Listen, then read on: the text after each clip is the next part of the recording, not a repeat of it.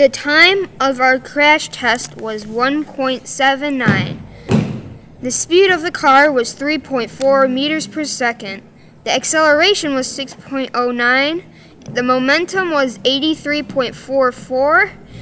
And the force of impact was 170.52.